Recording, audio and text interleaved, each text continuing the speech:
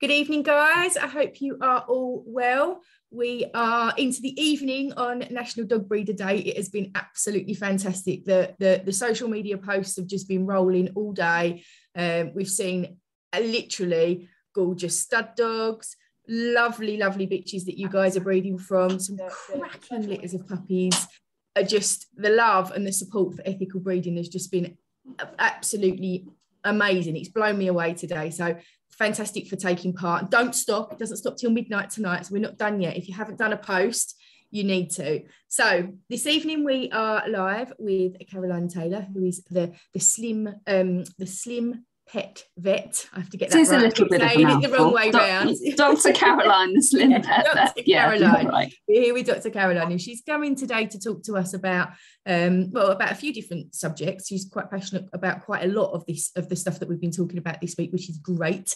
She is a, a breeder friendly vet, guys. So um, round of applause for Dr. Caroline. So we want to we want to kind of um well, we want to thank you for being here to start off with. Thank you for taking your time to come and join us this evening. You're really welcome. Thanks for having me. No it's going to be great. So we, i think the thing that i want to try to get off with first is that i know i'm very lucky. I've got a great vet who is you know very supportive. He is happy to talk everything through with me at great length. He I think probably understands that I'm coming from a good place with my breeding practices. But I there was an occasion where he was actually on holiday and I knew he was on holiday and I had um, a, a, bitch that needed to see the vet and I had to use a, a, a, different vet that was close closer to me because David wasn't around. And um, the reception, shall we say, that I got at that vet was quite hostile. It was quite frosty. Um, they, they, they weren't very happy with dealing with me with a pregnant dog. Um, I did explain that, you know, my, my usual vet was on holiday, etc. But they were still quite hostile. And I, I do understand that they see um, a lot of the rescue element of things. And so therefore they don't have a great deal of, of, of, experience with breeders, they can have a bit of a one-sided picture of what we're all about. But it poses a bit of a problem for breeders in that, you know, we need to be able to, to have a good relationship with a vet if we're gonna, you know, really provide the, the fulsome health picture and the health care picture that our our bitches need having that really close working relationship with a vet is super important. So I wanted to talk to you about how, you know, what's your views on that? What's your what's, what's your take on on that really? Well, I think these sorts of relationships um, take time to build. And I think the conditions that we're all in and have been in since, can you believe it's March, nearly two years ago now, when still, you know, and it depends what sort of facilities they have. Um, but many, many vets, and just like it is at the dentist or the doctor, you can only go in if it's actually absolutely essential that you're there. And so many vets have got quite limited open spaces. The reception areas are often quite small. And so uh, it can be a real worry, can't it, to hand over your dog, particularly if they're pregnant or um, you know nearing um, uh, whelping, um, not to be able to reassure your dog and, and stay so. with them. Um, you know, just like you know, I'm sure a lot of your breeders that you um, are here within the group um, they've they've noticed that the people coming forward to to want a puppy are quite inexperienced. Mm. Um, and they perhaps have done a little bit of research or a lot of research online, but that doesn't necessarily mean that it's actually sensible information that they're getting because obviously you know there can be a real different you know and they maybe think okay they've researched uh, often what people do is buy the sort of dog they that for the lifestyle they want rather than the, the lifestyle, lifestyle they that they actually have. So they want a dog. Okay, oh, I want husky because I want to be able to go running in the forest and you know doing this and all. And, and actually they live, you know, um, in a three bed flat or something with, yeah. you know, two flights of stairs to go up. And, you know, the exercise that those dogs then or dog will have is running up, you know, three or four flights of stairs, which obviously, as we know, is not ideal, particularly with, you know, larger, larger breed dogs. So, um, I think we, we've also seen new breeders coming on board and um, we'll talk about this a lot later as well but you know it might be that they're not necessarily aware of the breed tests that can be done. And i'm not just talking about dna tests and things like that.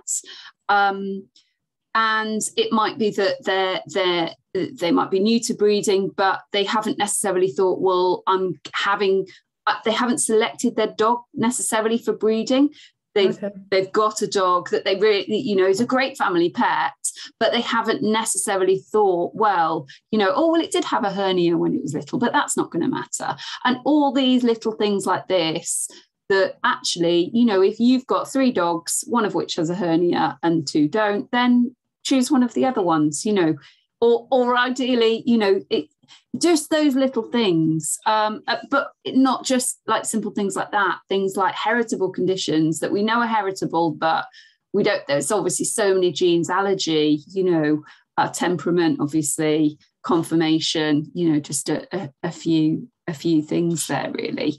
Um, so, so what you're saying is is that you you're seeing an influx of breeders who haven't necessarily done their homework. Not necessarily the breeders, but the owners. And it's really, I feel privileged if the if the new because we often see you know the new puppies coming through and i feel very privileged if that pup uh, that new puppy owner has actually seen the um the bitch not necessarily the stud dog uh, maybe pictures but it's still you know very much that you'd think that is a basic you know you want to see how the conditions and how it's been bred but even that isn't isn't being done. So you know i think what is hard is that vets at the moment are under huge amounts of time pressure, as well as these very difficult situation that they're in. And that time that it takes to build those relationships in terms of what an, a breeder needs is, is really important, um, but it's not urgent unless, you know, it's a C-section or, or, or something like that. So I think even though you know we it, the, the vets are still sort of trying to provide all this service across the board. Obviously, the urgent things and um, the more emergency situations uh, tend to take priority. And so those those relationships that are so important to build are sort of you know it might take many weeks to get that urgent visit Absolutely. and then that that that visit booked in for to check your your bitch over before breeding say and then by then or maybe she came into season early and then you you didn't quite but all those things where you think well actually when when is the best timing to do a vaccination for parvo before pregnancy? You know what you know do we do it 3 months? Do we do it 6 months? What what is the best timing of that? Because obviously we can't do it when they're already pregnant. Um and and to get advice on that those sorts of things you know um I do want to reassure you though that you know you if you are having to let your animal go um, we we found that actually in practice when and i know it's really hard as a sort of professional breeder that you're really used to handling animals and it's not that you're not capable but if you actually think from the veterinary practice perspective most clients of the dogs do not have do not know how to hold a puppy or a dog for a subcutaneous injection or to examine its ears mm. or to, you know, collect a blood sample. So actually to have trained personnel, so a trained veterinary nurse um, within the practice who knows what to do, actually a lot of the vet practices have found that it's more efficient and less stressful for the animals rather than, oh, well, we'll, we'll see if the owner can hold oh well no actually they can't. And now the dog's a bit agitated. So we'll get someone in to you know wrap them in a towel or whatever you know whatever form of gentle restraint that that will happen. And actually if you just had we've discovered that actually if you just go in with that professional um, handling from the word go, actually everything is smoother and, and it, more efficient. And obviously, at the moment, we're most vets are maximising efficiency yeah, because yeah, they're under yeah. such absolutely, such time absolutely, pressure. Absolutely. So, you know, and, and actually remember that the restrictions that are in place that are stopping, you know, you going into the vets or or, or spending that time, um, is not because the veterinary team necessarily want that. It's because of, you know, I, I have been working for a, a very small practice and they actually had to close their doors for a week because, you know, one staff member had COVID. Yeah, yeah, and then yeah. all the other practice members were contacts. And so suddenly there was not the, and that's obviously the last thing that even though, you know, it's you know most people are vaccinating things against on from the COVID side now. Um, it still doesn't, has it doesn't that. stop you, but it still doesn't stop you from getting it. I had COVID no, it doesn't stop you from getting it. And it I'm- has that impact on businesses. So they want to still be able to provide that service. So you know, it's it's often you know, it's it's small teams can be you know more exposed be more that. exposed. But take take the COVID situation out of it. So you know, let's say we accept and we understand as breeders that we're going to take our dog to the vet and they're going to be taken into the surgery and all of that. Because just because we're breeders, we shouldn't be treated any differently. We don't want No. to be treated any differently to any Yeah. other dog owner. Absolutely. Okay? But I'm talking about like the relationship with them. So being able to speak openly about your breeding plans and having advice given that's in a non-judgmental capacity. Because before we moved to where we moved to and before I found the vet that I currently work with, it was very difficult as somebody who wanted to breed to get advice from the vets and get advice from the veterinary nurses because there was this this is not this is long before covid forget covid Yeah. take covid out of it it was, Absolutely. it was, No, it was yeah. really difficult to get advice because there was this judgment around, you know, well, why are you breeding?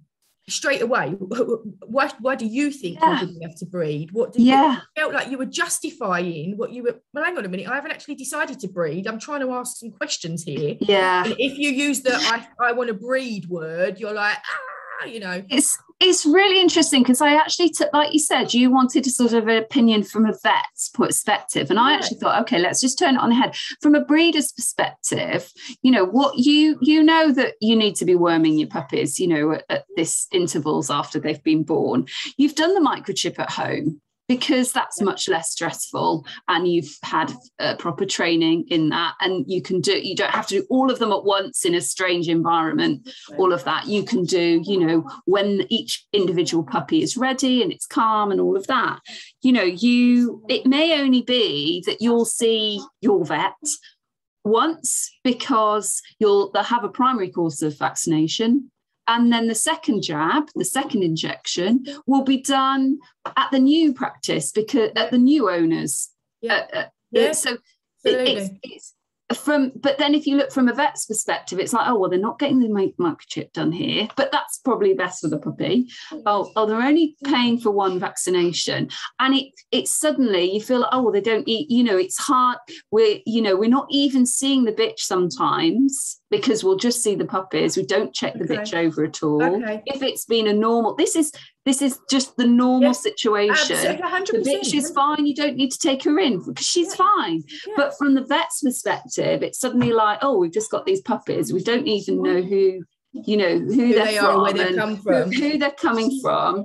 You know, um, so there's then, and also with the timing and things like that, there's very little then opportunity for that discussion of, oh, when are you going to have your next litter, or are you going to have a litter, or are you thinking of maybe breeding one of these puppies in you know and and and carrying on the line that way um So basically, it, so basically to, to kind of improve that, if if if a breeder were to perhaps in the first instance approach the vet and say, "Hey, I know we can't come in at the moment, but you know I'm thinking about breeding from my bitch. She is a Cavalier King Charles Spaniel. Uh, you know, what is your advice for me?" I'm just, you know, you're the professional. How are we going to go about doing this? I want your support around this. You know, absolutely and and I, i'll i'll put this here just because you know i think this is like that little bit of tension as well because maybe the new puppies um, coming in. But there is always that fear from a vet's point of view that, you know, that there's these breeders are just out to make a quick buck and they're not yeah. in the, interested in the long-term interests of the bitches and, you know, um, rather than, you know, that opportunity to create high standards and maintain happy, healthy dogs, family dogs, that that's what obviously your aim is. Yeah. Um, so I think it is really important to have this conversation really early on, yeah. um, way before you take the bitch to stud, and actually say, okay, are you going to do progesterone testing, or or yeah. are you going to do cytology, or discuss the different options available? Do you yeah. want, you know, the vet to be able to do that? Be willing to pay for that that little bit of advice you know it's not unfortunately i would think you know ideally you'd think oh i just want to have a really long chat with the vet on the phone. Maybe you know that is more appropriate to you it for you. If you prefer to to pay for a, a telephone consultation for 15 20 minutes say that you know because it's more about the discussion rather than and and actually you know maybe you know often it's the receptionists that are a little bit of the gatekeepers so it's getting through those as well and and everyone's expectations. Um but that's a but, lovely way to pave the pave the path forward. So the vet exactly you if you know for somebody who is considering all of their options. You know, yeah. if you're going to ring the vet and talk to them about the options regarding the canine herpes virus vaccine, for example, exactly, you know, taking exactly what tests you should do. You know, there's so we'll go on to how many tests there are. There's so many hundreds of oh. tests that you could do, and Millions. but your veterinary surgeon is the one who will be abreast of all of the different options, or at least if you, you know, not necessarily spring it on them, you know, when you have a litter of puppies, but you know arrange another time to have this discussion so that your vet can do the research for your particular breed. And you know it may be that there'll be two or three breeds that they have to research because of obviously the trend of you know cavapoos or yeah, or different yeah, breeds yeah, coming together yeah, um, and they can help really you decide which is is which the is best the way forward. I think path for now and maybe you won't do absolutely everything to begin with but you'll do this first then you know you'll Bring you'll produce a litter and then the next stage you will go well which you know we'll we'll see you know before you decide which puppy you want to keep, say for breeding, maybe at that point, get, you know, have a look and see what the vet thinks about that and include them in those conversations and those decisions. Um, and then if it comes to, you know, oh, this, you know, three or four weeks down the line, or oh, this puppy's not doing so well, they'll be there to jump on it and and actually, you know, obviously, you know, when it's a sick puppy, you know, everyone's all action stations. But you don't want that to be the first port of call.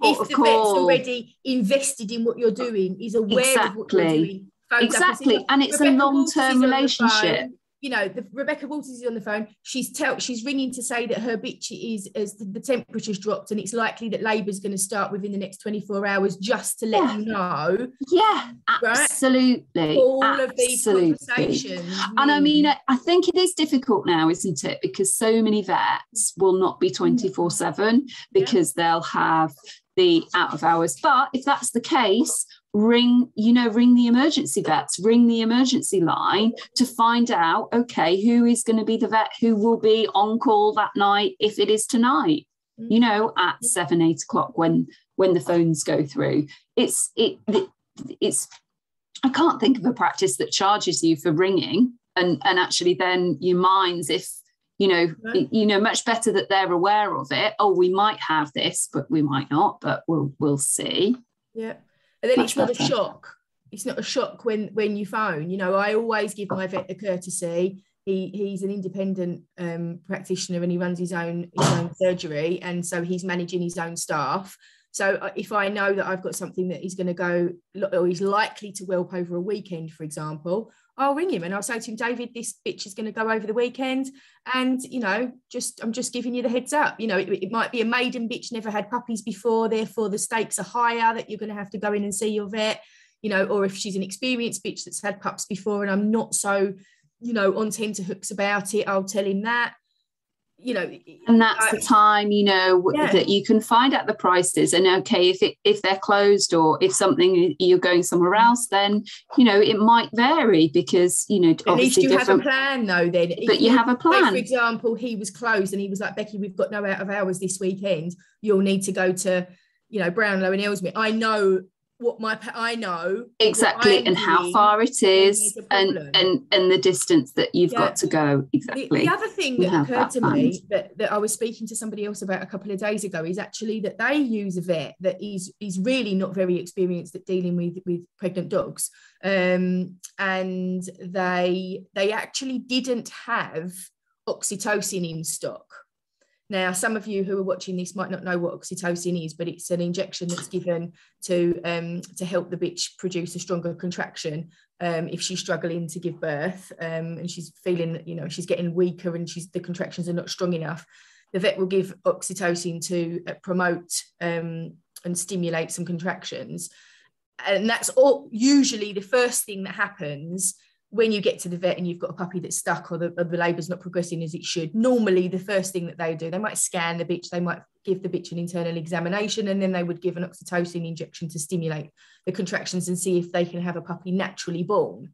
But of course, if they don't have oxytocin, because they didn't know that there was potentially a pregnant bitch coming in and they didn't have the opportunity to order it in, then the only option at that point is a C section you're forcing their hand. So if you don't give them the heads up, and I know that you know uh, there'll be a lot of people going, "What do you yeah, mean?" I mean, medical it happens, guys. you know, medical supplies yeah. are very difficult at the moment. You know, because you know things that you think, "Oh, why can't I book my cat in for a vaccination or my dog in for a vaccination?"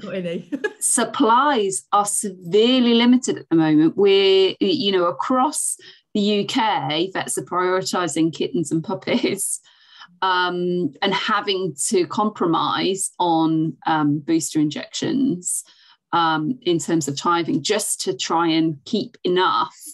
Um, uh, for for but you know that's just one issue it, unfortunately there are issues with supplies of other medications herpes vaccination you mentioned uh, we normally order in especially for each um, it doesn't come in large um, uh, doses. You have to order each individual um, vial. It's not necessary. I wouldn't say every um, bitch that I see will have a herpes virus vaccination, and it's not completely um, curative if if you mm.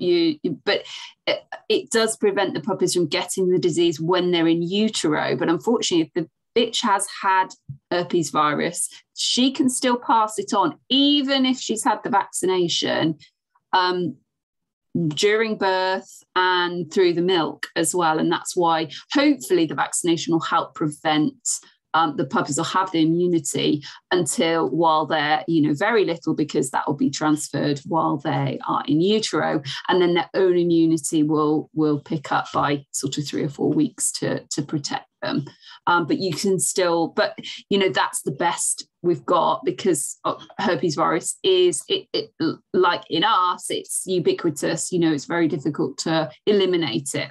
Yeah absolutely so they're just a few examples of why it's really important to have this open communication um, with the vet because if you don't you're kind of walking into whelping with your hands down by your sides you know your vet is actually your right hand man you know don't don't limit yourself and limit your options for your bitch by thinking i'm not going to call the vet or i don't want to spend the money or you know uh, or you know i don't need the vet on hand. You are all at some point if you choose to breed dogs at some point doesn't matter how good you are how many yeah. read, and, I, and I think I'll, I'll also mention, you know, you know, these days there are so many vets out there that you will find someone who, you know, there's no point if you feed raw and you go to a vet who completely disagrees with that, that's going to be a bit of a clash, you yeah, know. Find a different vet. So find find a different vet. There's you know there's holistic vets there. There's vets who will do complementary medicine as part of their um, uh, rehab and all of that. Um, I don't know about the use of acupuncture in pain in terms of um, uh, bitches in labour, but you know there are, you know there is so that, that if you if you look for what different people um, and, and different vets and, and the communities are offering, you will find that, that there will be someone within your local area, I would hope, um, that that would would be a good fit.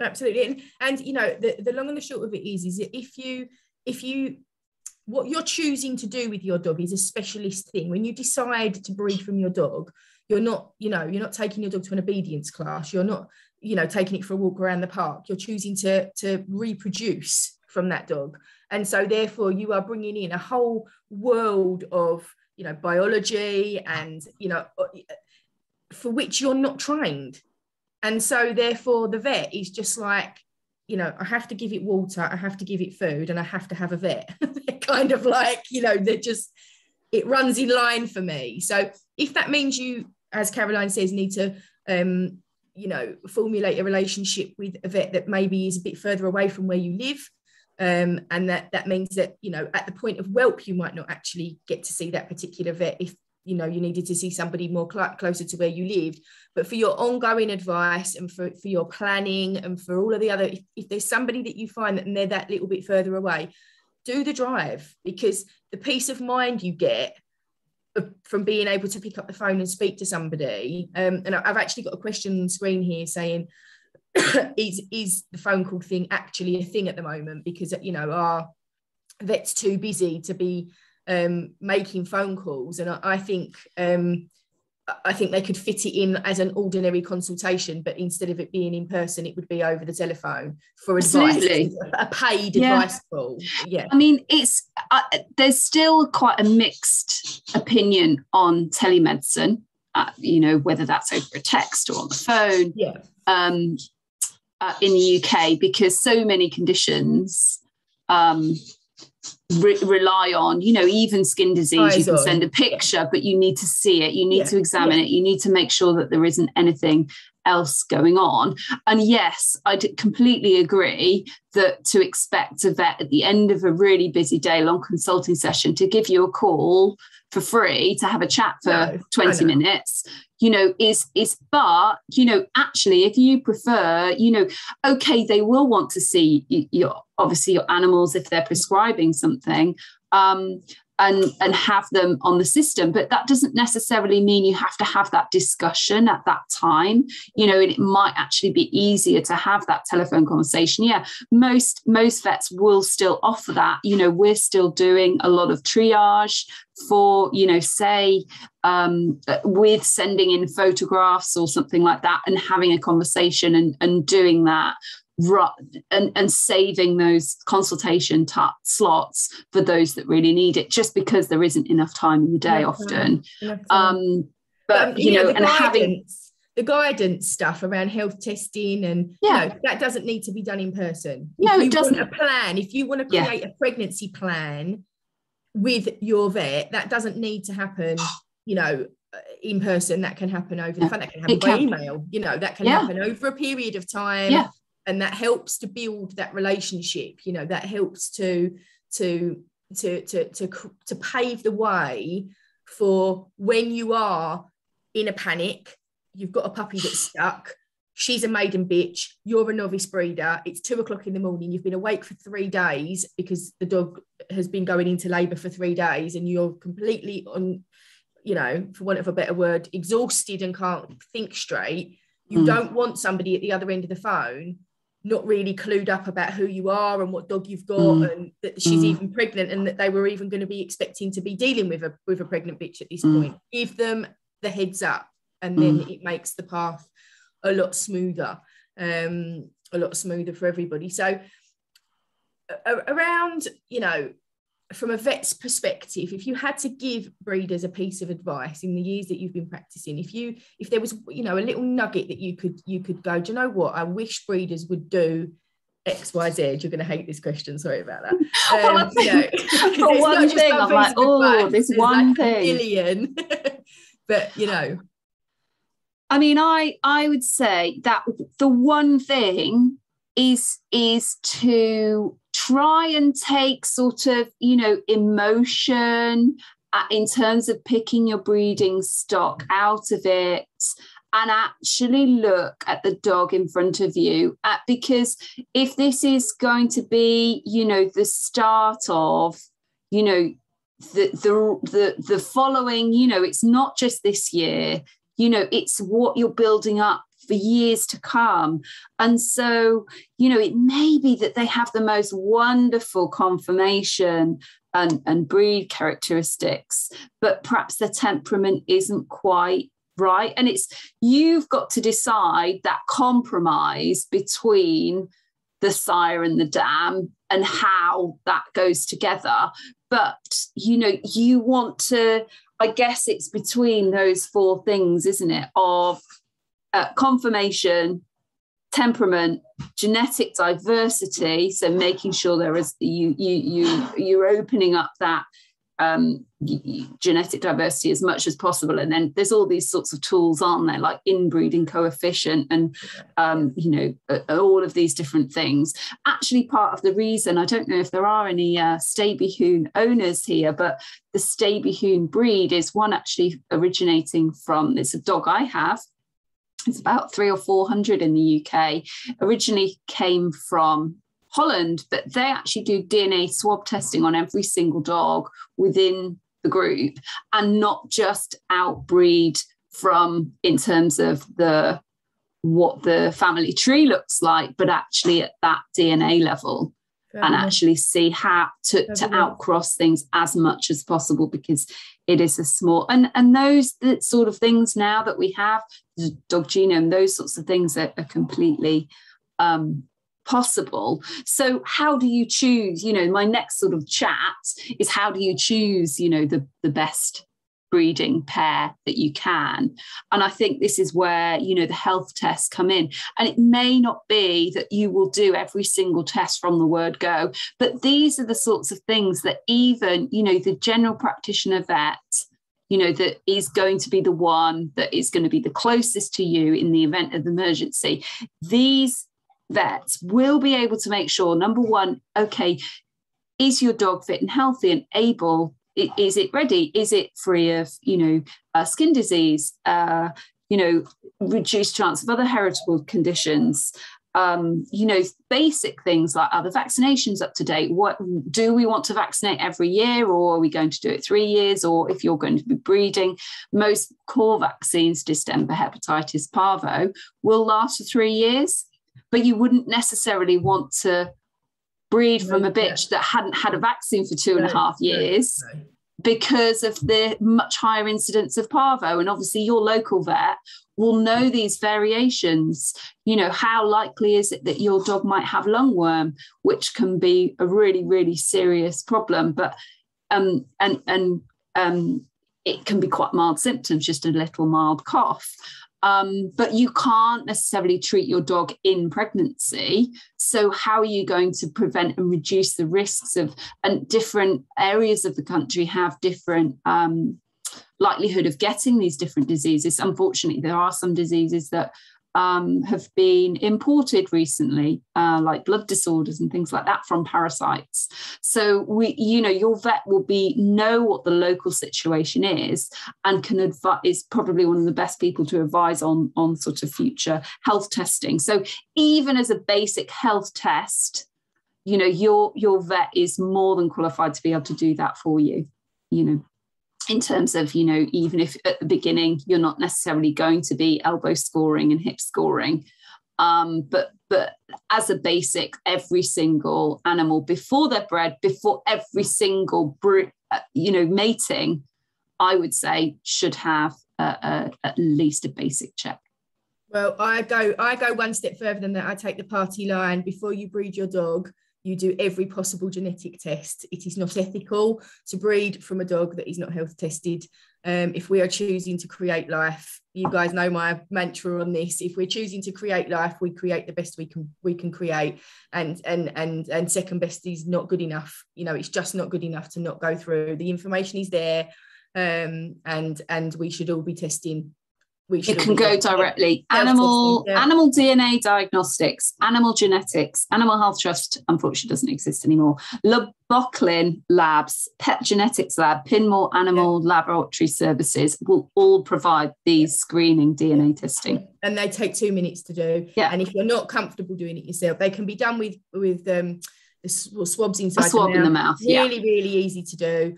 Um, and I, I've actually got a, a video tutorial. If anybody's not sure on how to do it, I've got a video tutorial that I can send over. I can post it in the group of, of me um, health testing or me pretending. Sometimes like a mini test. little toothbrush, isn't it? Yeah, So it yeah. sort of gets the And some of them are not even like a toothbrush. Some of them No, from, just a from swab. They, they're just like um just like a earbud.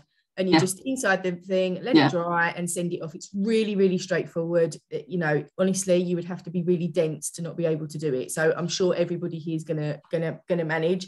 And yes, some of the health testing is a little bit more invasive. You know, the hip and elbow scoring, some of the eye tests are not you know, great. They're always, I don't like, I'm not, I've got a thing about eyes. I'm not great with people shoving stuff in my eyes, and I always feel sorry for my dogs. But, you know, I have seen um, dogs, you know, who have uh, who have gone blind, and it isn't nice.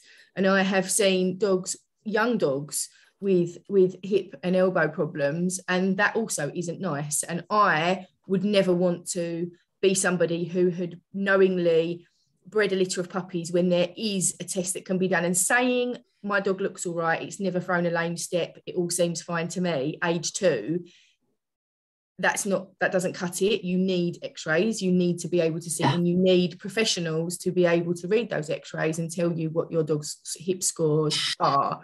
These systems have been devised to protect the future health of the dogs that we love and the, of the dogs that we're going to spend our lives with.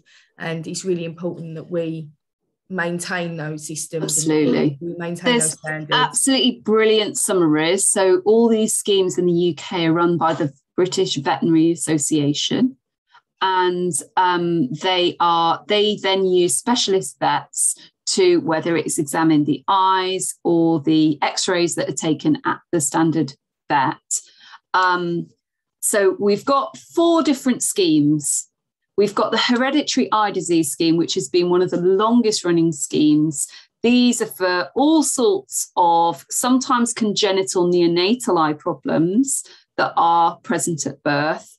Others that, if you're um, have got bitches and studs, they can be examined at any age. An annual inspection or uh, is is advised because some of them are hereditary, but they don't occur when they're young. young So yeah. if you've got a stud dog or a, a bitch who is older, three, four, five, te- um, eight, maybe, even then it would be best to get them examined regularly. Um, common breeds that are affected border collie, cocker spaniel, springer spaniel, French bulldog, golden retriever. So that's in terms of hereditary scheme. And there's a really good summary in terms of what they look for, what they're examining, where they're taking place, who does it. So all different vets, uh, specialist vets around the country will do this for you. Um, then the next sort of major scheme is the elbow and the hip score scheme. So it has to be done when your dog is over one year of age. And usually it's only done once in the animal's life. And after it can be done under sedation, but usually general anesthetic. So, you know, you need to ask your local vet and obviously say it's not just that you're x raying the hips and seeing what they think, it, it needs to be sent to the BVA, um, which now I think this, they've gone back to a turnaround of about a week or two. Um, you know, there was very, a big delay quick. for a while. very very um, very fast very yeah. very fast yeah And I think submission is something like £70. And Mhm. obviously, then you've got the costs of the x rays and the and they will despite contrary belief they will score crossbreeds okay i know that they can't put them in, on any kind of register but the bva will score crossbreeds Oh, yeah. Any Yeah, so dog. don't this need is. to worry this is not just for purebred dogs These No, schemes- absolutely not. these schemes Golden Doodle, 100%. Vizsla, Labradoodle. you know well. Absolutely. It's- it They don't. They apply. they keep a record of all the dogs that are tested, and even you know for the mixed breeds, they will keep a register of the breed average. Okay, it, it, you know, the, the mixed breed Labradoodle, is that now a breed? I guess, you know, we're sort of getting you know, there now, aren't we really? Yeah, we are there. Um, yeah.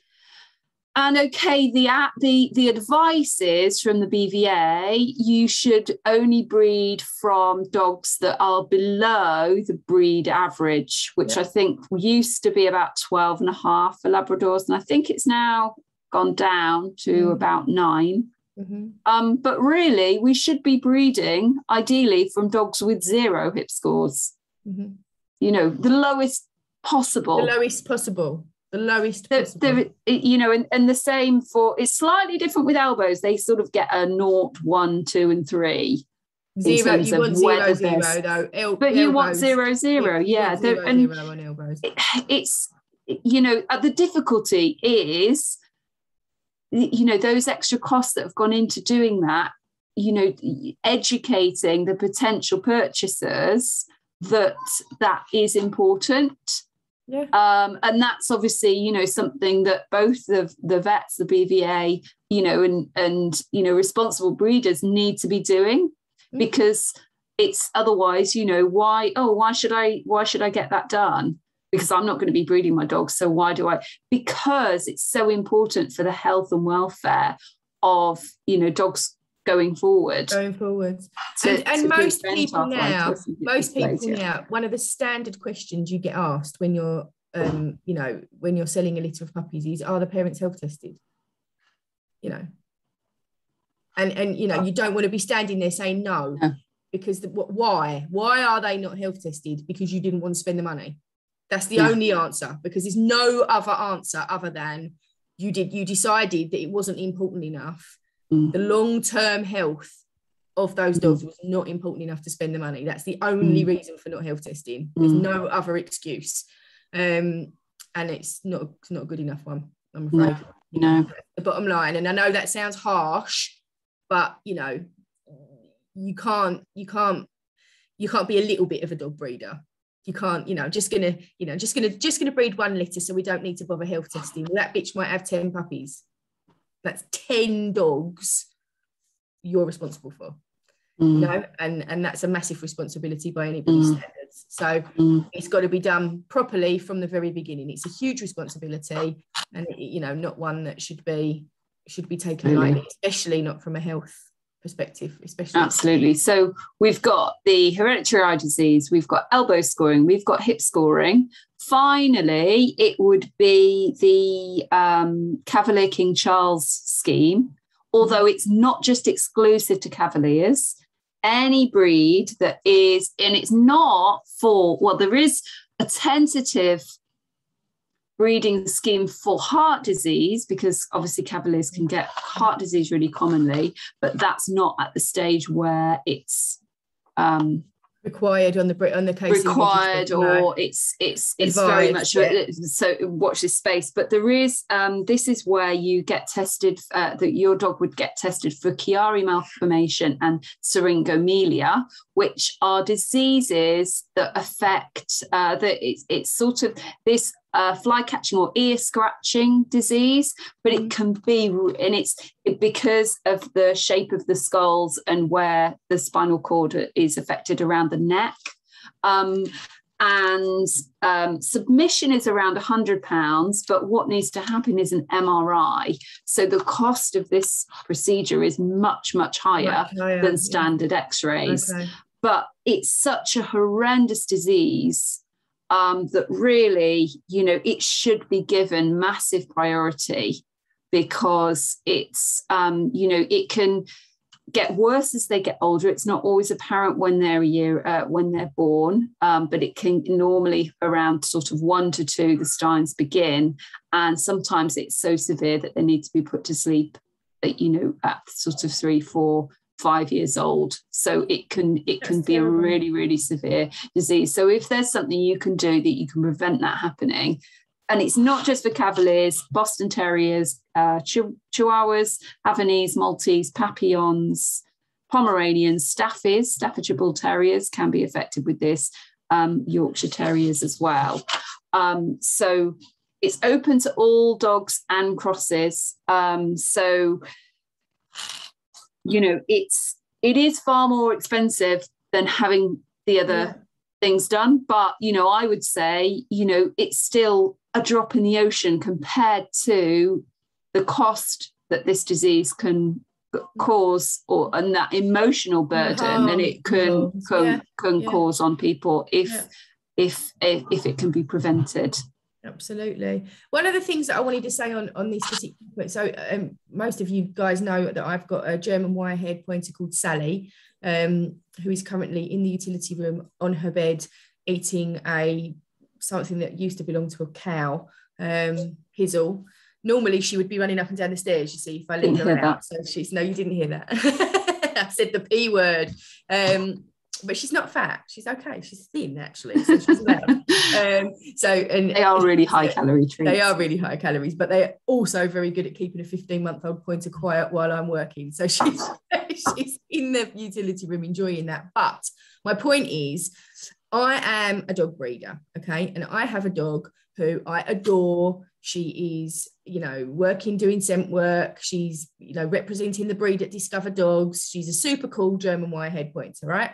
And she meets breed standard in terms of, you know, her size, her shape, conformation is fantastic. Temperamentally, she's ace. Very trainable dog. And if you go onto the Kennel Club website and have a look at what the breed um, test requirements are, it is um, von Willebrand's disease, and that's it.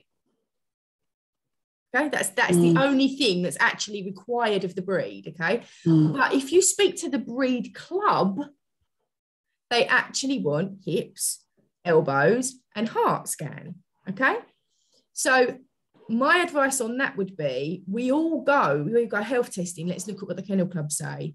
But actually, the kennel club have on their website what has been a big enough problem within the breed that they deem it necessary to have, you know, specific tests. However, the breed clubs will be hearing, you know, on the jungle drums long before the kennel club actually make it a thing that there are other issues that are potentially forming within the breed and more specifically within breed lines they will have more information localized to the actual pedigree of your dog so I, for example, rang um, the health secretary of the German Wirehaired Pointer Club, had a lovely conversation with her on the phone. She was really, really keen to give me all of the information about the about the wire hairs and about you know what they need, what I should be looking for. And there's actually a whole host of testing that I'll be doing on Sally. You know, that, that if I'd have just looked at the Kennel Club website, I wouldn't have known anything about the other testing that that I needed to do. And, and that was only triggered. I only rang her in the first instance because I'd seen on the German Wirehaired Pointer Facebook group a couple of young dogs had passed away very suddenly from a heart condition. Mm. Like literally, the owners had woken up in the morning and these dogs had, had- passed away in the night, heartbreaking, 15 months old and 13 months old. And I, Mhm. I started to panic. I was like, oh my God, she's that age. I'm going to wake up in the morning and she's going to be dead. So probably because my husband would have killed her. No, I'm only joking. Um, and and and you know, so I started to started to Google it and started to have a look at what I could find. Went to the Kennel Club website, didn't get the information that I needed, so went to the health secretary of, of the club. So guys, look at that as an option as well. You know, get in contact with your breed clubs and speak to the people who are on the ground because they'll probably be lobbying the the the, the kennel club to get more breed tests recognized by the kennel Mm. club that, that's how it Mm. works yeah that's how the system Yeah. works so Mm. you know that's a it's a good way of, of finding out the the whole the whole picture for your particular breed Absolutely. Absolutely. right so yeah, that would be my. it- Was that one thing? I don't know. One No, thing. Pick the best possible, the best possible dogs that you can to breed from. Now, I know that um, dogs and their weight is a, is a really important thing to you. Obviously, you are the slim the slim pet vet, so kind of the clues in the name. Um, and uh, let let's talk about how we can keep our our bitches um, in in peak condition nutritionally through their pregnancy um, and possibly a little bit around the weaning time because Yeah. see lots of questions in the group about um, two, two things that I, I, I hear. Um, she's had the puppies and she looks like a hat rack. She's gone really skinny and it doesn't really matter what I feed her, she's not gaining any weight. How do I deal with that? That's the, one of the first things that we we have. And then the, the other one is around um, we are we're weaning the puppies. She wants to eat the puppy food, but we're weaning the puppies now. And this is a very, very tricky time. How do we control how much milk she's making? That the puppies are getting enough milk. They're also having some hard feed. You know, mm. we don't want her to get mastitis, but we don't want her to be hungry. Mm. And uh, you know, all of those questions that come around mm. around that kind of subject. So, what what advice have you got to give us on that front, Caroline? Well, um, yes, yeah, so obviously weight is really important, and I'll I'll talk a little bit towards the end about you know why I chose what what th- this area because you know so many dogs that I see you know have essentially a preventable condition you know being overweight and they're so much more prone to lots of diseases you know uh, um, obviously arthritis but diabetes heart disease anyway.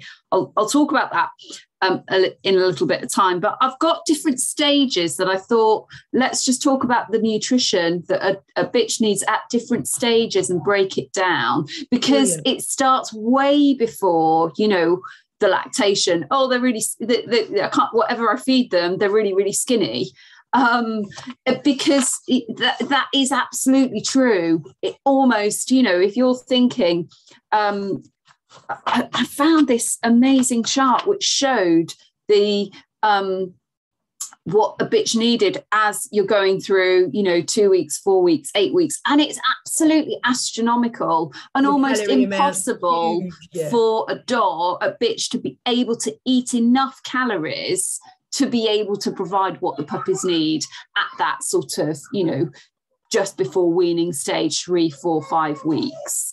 But if we look at that pre mating time, um, now pre mating, it's a really important time because we don't want the bitch necessarily to be overweight because that's not going to necessarily help her during the pregnancy and during you know lactation ha- carrying lots of extra we want to ensure that she's getting a high quality adult maintenance food um, and maintain her around about four or five uh, body condition score. Um, you can use an all stages diet, but remember, all stages diets really means puppy food. So it might be that in that pre mating time, all stages might actually still be a bit too rich at that time.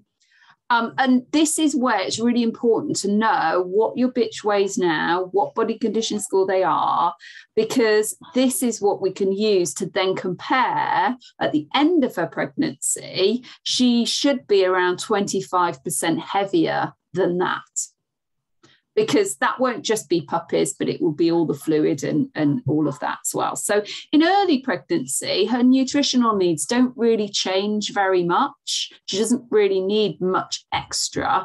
It's often, you know, a bit like us, you think, oh, we'll, we'll feed her up now. She need, needs a bit more, but she actually very similar to this pre pregnancy state.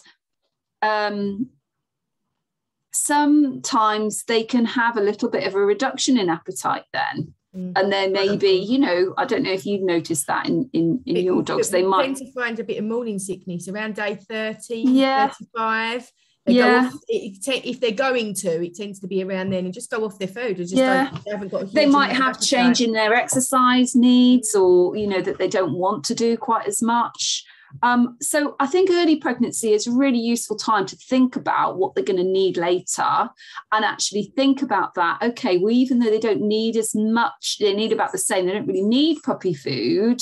Actually, it's probably quite a good time to sort of change them onto that because they don't need to eat as much of it. It's a higher calorie density. It's also going to be higher in the EPA, DHA. These are only the omega 3s that are really important when puppies are developing all the neurological development of the brain um, and, and all of that.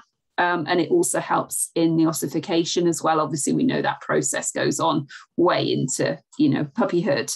Um, but if you're feeding a puppy diet, you don't need to supplement your bitch either with anything. It's going to provide everything you need to. And I would argue, okay, supplements are, are, have their place, but actually, if it's within the food, you know, the EHA, you're, you're it's going to be absorbed that much better. Okay. um, than if it's given. So, do you advise to move? Because this is this is a quite a common question to to change your bitch onto puppy food. Do you I- I- advise? that you should do that? absolutely absolutely. Um but in in that sort of yeah late gestational milk uh, producing lactation. phase Okay, lactation right. phase. So absolutely. Not- that not is going to be the best. Yes prior because it's usually easier because of these different changes that they need during late gestation it may be you don't want to be changing it then. That's the thing. Is that the best time to change the diet? This is where you may they may have they might not to want to eat as much at a one time. They might start grazing because they just get full. yeah. um, then then obviously all their mammary development is going on as well. Um, you can get significant amount of fluid buildup so you know maybe adding in a little bit of wet food instead of just providing dry food because of the moisture level Help it, help it Um. Although obviously wet food is going to be a lot more water within it so maybe they, they'll get full quicker and obviously not get as much a nutrition you know and I, I guess that goes the same for raw food as well they've got to take in a lot more bulk so actually dry food even though you know it, it's much more calorie dense for what for what they um, uh, will eat. There is an increase in this time, in this last few weeks of pregnancy now, um, in their protein. They need extra energy and they need those extra micronutrients as well. So that's why puppy food, I would say, is appropriate at that time. Okay, okay. Not so much in the early pregnancy, but definitely in that last three, three to four Okay, so weeks. so you're going to say you're going to scan your bitch somewhere between 28 and 35 days, yeah, and after you've scanned, you know, you're then going to consider moving over onto a puppy food. Yeah, yeah, and and actually, a lot of vets will say, you know, you can palpate a bitch, can't you? Even a uh, sort of twenty day twenty six. Yeah, yeah. So, but usually a scan won't be till post thirty days, just because you're never quite sure of the ovulation date unless you've been really careful with the the, the testing. Yeah, I'm most sure most people on here will be bang on. Yeah, to they they know they know to the, to the day the exactly day, yeah. um, uh, but um, you you can now um, on some of the modern scanners because I actually supply ultrasound machines as well if anyone's interested. Uh, but um, uh, most of the modern scanners now will do uh, gestational age as Oh, well. fantastic. So. Um, so you you know you can check dates and things like that. Obviously, not so much after a certain um, after you know too too late. So a good rule of thumb around this time would be obviously we know how much she was eating pre-mating, pre-early pregnancy. It's normally about one and a half times what they needed then at this stage. So that's that's you know just Your, your rough bit of a of sort of rough rough guide um, of what they needed pre-pregnancy. Um, so you can get these gestational diets that are meant to be marketed for bitches that are you know in pregnancy or In lactation, pregnancy, but yeah. it, essentially it, they, they are very similar to the puppy diets. So you know that and, and actually then if you've got that puppy food, then you know you can you can um, uh, then uh, switch the puppies onto it. Yes, split the meals. Um, you sometimes get that loss of appetite, don't you, just before Yeah. whelping? But Yeah. if you've made those preparations beforehand, you don't need to panic because she's already then laid down some extra, you know, um, uh, nutrition in subcutaneous fat at that point, Yeah. which is fine. Um, because she's going to use it. You know, she's because she's going to use it. use she that. absolutely is. Early lactation is is the most demanding time um, for the bitch. She's going to be producing really highly concentrated milk for obviously, you know, sometimes six, eight, 10, 12 puppies. Um, ideally, it's much easier then if you've already transitioned them onto a diet that's suitable for this time Mm. um, because even if you fed any diet ad lib, they still probably wouldn't be able to take in enough energy. No. You know, they are going to lose you Yeah. condition at that point. And what you don't want to do is them to lose, having to lose so much condition that they're actually having to draw supplies from their muscle. Okay. You know, better. because that- that, that's something that I did want to what, touch on. Um, you know, I think that what we do underestimate is that they go from, you know, being relatively active. And although they do slow down across their pregnancy, I've got a spaniel that's pregnant at the moment, and she's like, she's a live wire. She's just as lively now, and she's, you know, she's only got a couple of weeks to go, less than that. So, you know, it's it's she's going to go from being pretty active to laying on her side, feeding these puppies. So her muscle is going to be lost as well. So when we talk about losing condition, she's actually going to lose you know, imagine what we would feel like if we just went and laid down in bed for two weeks and didn't get up. We'd feel as weak as a kitten, wouldn't we? When we tried to get up, we'd lose our muscle tone. And I mm. think for me, I see this in the bitches as well. I see that it isn't just body fat and weight and condition in that regard, it's also their muscle mass just disappears. Mm. Um, and they look, you know, where they'd be covered, they'd have a good top and a good neck and a good back that all tends to sink and drop because the muscle disappears because they're mm. inactive they're laying feeding puppies and they lose their muscle tone and i think that's why puppy food is is it is better to be feeding because it is much higher in protein than your standard adult maintenance diets okay, okay. Um, and so you, you by providing that higher protein and it's not all about the protein because it is really important that they're getting you know the the micronutrients the selenium the zinc and the copper and the you know calcium and and all of that as well. Um, but you know that loss of condition will be minimized if they're having you know a, a good um, quality you know and it's not just about the amount of protein but how easy it is to absorb as well excellent excellent. And then so okay so we're at the point where we've got puppies. She's feeding she's feeding the puppy. She's in the whelping box she's on yeah. puppy food. Yeah.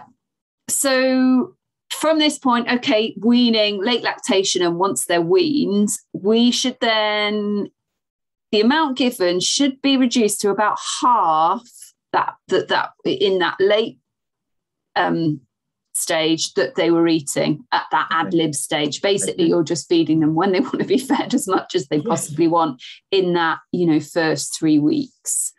Um, and then as you know, the, I mean, naturally, you know, the bitch is going to be moving away from the puppies. I mean, it depends how strong their mothering instinct to. Some do, and sometimes you just you know you need to sort of do that themselves. But yeah. the puppies will become less interested and almost you know she'll need she she'll naturally take more breaks while you know mo- most most um, them, yeah. most you do have to be careful about that um but then and as that milk production is reducing she doesn't need as much of that protein and that energy um, and ideally the weight that she is at that point obviously she's lost all that pregnancy fluid and and and, and all of that as well it shouldn't really be any lower than when she was mated because we've obviously got she she gained didn't she up to sort of 25% you know, when before uh, pregnancy. So keeping a really close eye on that.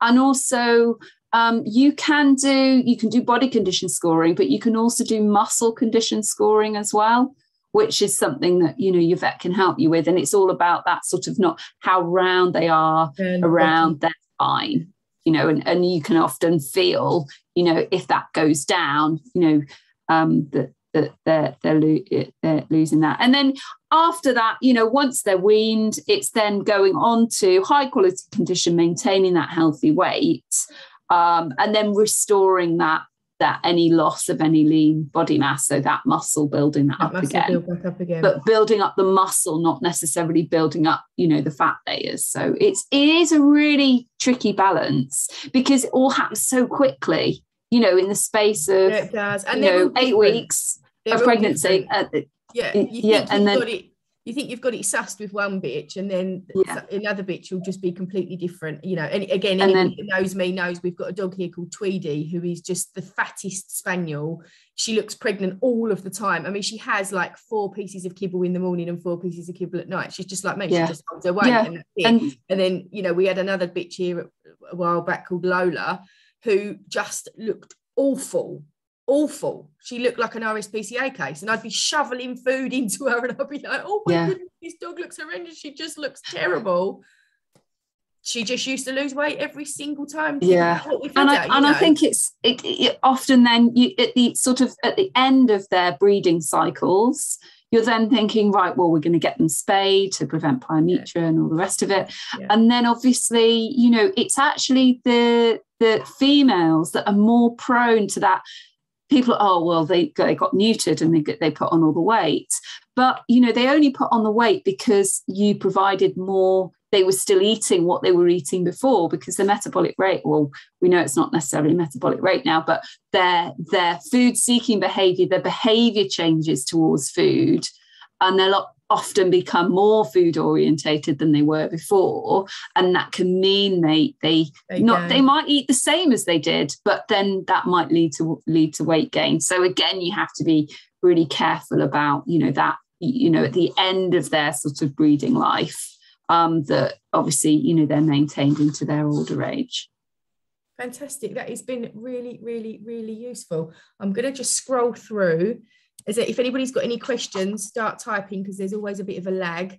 So um okay so patricia owen is asking um, is BAER testing best performed on puppies or can this be conducted at any age? So the hearing tests. Ah uh, yes. Um it, I think it's best to do um, when when they're puppies, um, and it's not something that you know it's only done at, at certain um, places around the country. So you know, I think the difficulty is getting in, you know, early enough.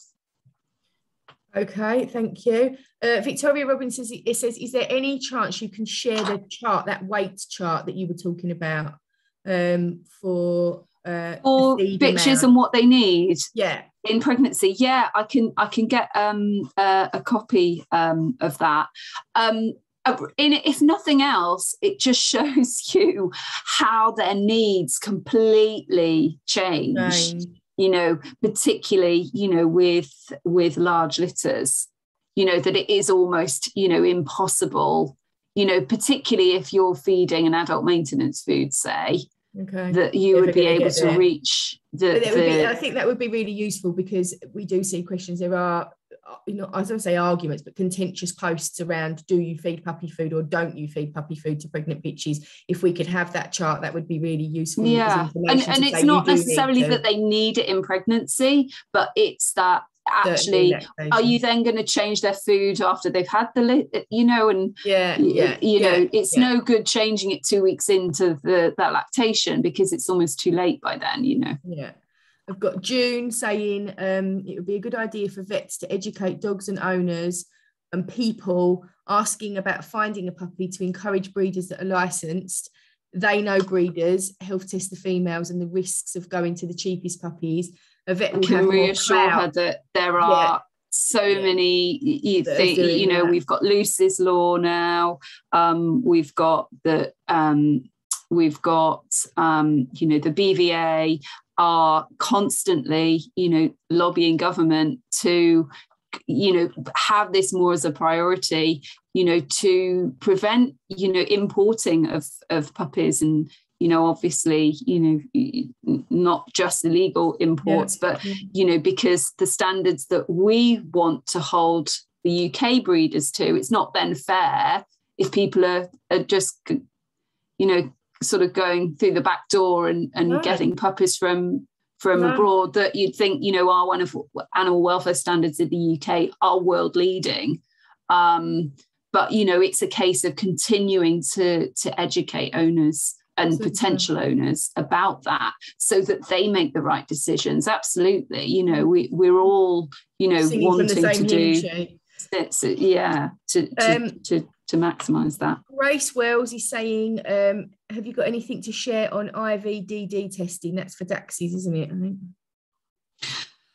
um I don't think there's any official uh, breed screening that the BVA run that I'm aware of. But IVDD for the long in, um, for the long spine yeah, dogs. Yeah, intervertebral disc disease. Yeah. It's but I don't think there's any um, you know it, um, scheme and and or I know what really does help people think. Oh well, I don't want you know sort of restrict the exercise, but actually you know ensuring you know um, a good level of exercise is really important, important. but super um, victoria robinson said is there a potential opportunity to set up breeding clinics with nurses discussing health te- tests and potential issues etc um, actually having those, yeah, a few different breeders coming together, and then yeah, and, yeah, and veterinary, yeah, just you know, uh, or you know, or, or even having a maybe like a monthly or a six weekly thing at a clinic where breeders could come in and discuss, get some advice. Might not be yeah i mean i think if you know you know breeders within an area you know go to ask your vets you know they there's the, Yeah. they'll be you know they'll be really keen to provide you know the the the services that you need but you need to you know ha- get that conversation going. Yeah, definitely, and that goes back to our first point, doesn't it, about Yeah, creating that relationship? but you know potentially you know that's they they don't want to be doing those re, you know really um you know urgent operations or or, or No, problems. You know far better having healthy dogs in for uh you know um hip scores than having to you know examine a dog of two years old two years of age and inform the owner that unfortunately you know the the dog that they've got has, has unfortunately got you know has got hip dysplasia. So you know the it's far you know it, it's a bit like you know um it's and it's also you know um that's even though you think oh they're just out you know to to you know uh make a quick buck themselves vets in terms of you know um oh that you know they like thing being sick. No much better that they have this regular income in terms of preventative health.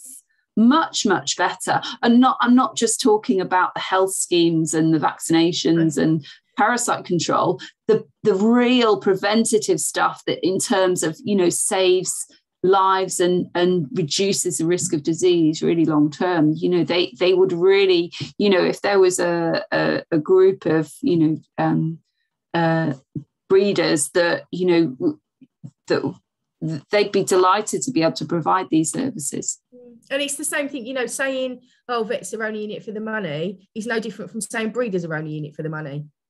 Right? At the end of Yeah. the day, we've all got bills to pay. Breeders have got bills to pay, and so have vets.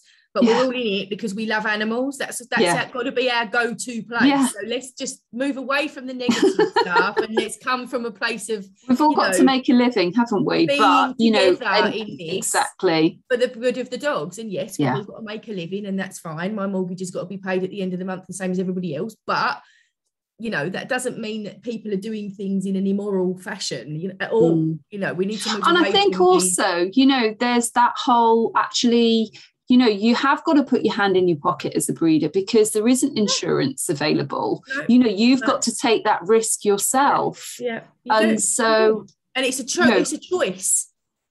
It's not Yeah. a compulsory thing. It's a Mm. choice. You've chosen to walk a path, and along that path comes. so it's your responsibility That's just to, the road. to- that's just the way exactly. it rolls. Uh, one really good question, and we'll, we'll we will call it a night after that because we've kept you for long enough.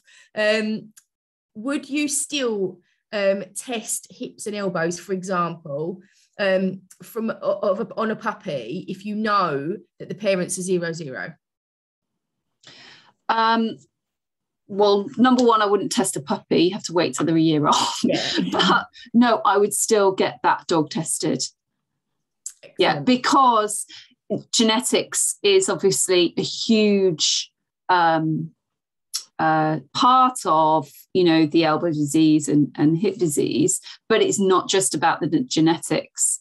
There are you know huge different numbers of different genes involved but it's also about you know the environment that that that they live in the sort of exercise they get the nutrition. There's so many factors that you know the and okay it's just a snapshot but you know potentially it you know a stud dog it, it how many litters is it is it going to have Yes, yeah. potentially Yeah, yeah. you know um Yeah.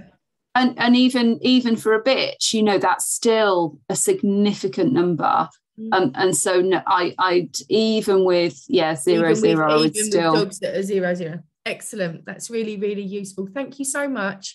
Um, there's no more questions. You've answered them all. You've been amazing, brilliant. Oh, had, I feel like I've uh, had an easy ride there with the questions. Thank you very much. No, we're all very nice over here, actually. We're not that bad, honestly. Um, but thank you so much for for coming um, and sharing your your knowledge with us. We've had a really really informative and wonderful evening, um, and a really lovely way to round off on on National Dog Breeder Day. So thank you so much. If anybody um, wants to speak to Caroline about any of the services that she offers. She is a locum vet. She does um, practice in the Manchester area, um, although I'm sure if you were to contact her on her Facebook page, she would give you a telephone appointment if she's got some time. I'm sure she would be able to do that for you. Um, and um, I know that there are a few people in the group who would be qualified to um, ultrasound as she says she does sell ultrasound equipment so she's somebody that you could you could speak to about that if you wanted to you can catch her on facebook um, it's dr caroline um, on on on Facebook. To Caroline, the Slim Pet Vet. You'll find me there. You can send me a message there. And the new um, website. If you've got any any other website is coming in January, which is www.theslimvet